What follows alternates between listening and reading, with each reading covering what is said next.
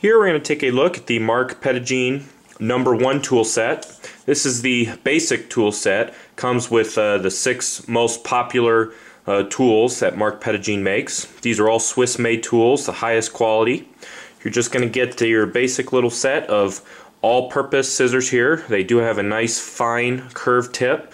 These are some of the sharpest scissors available on the market. They are scary, scary sharp. You're going to get your dubbing loop clamps a spring action, spring loaded uh, whip finisher that will protect your delicate threads and they will not break when you whip finish.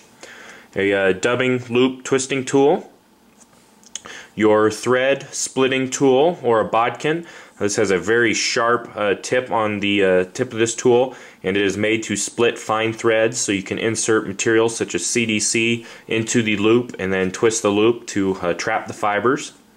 Then you're also going to get your hackle plier as well and uh, it all comes in this little case and you also do get a basic set of instructions to show you how to use these tools and you can find the number one Marc Petitjean toolkit at intheriffle.com.